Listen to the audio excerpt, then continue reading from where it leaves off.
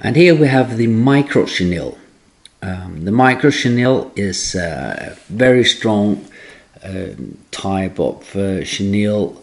You know, see, can't break really, and um, it's mostly used for for smaller flies as the diameter is very low. It's I think it's something like uh, less than two millimeters. Uh, we sell a lot for for nymphs, of course, but uh, also for prolonged tails on on on or prolonged bodies on on dry flies, uh, as it takes up uh, float very well.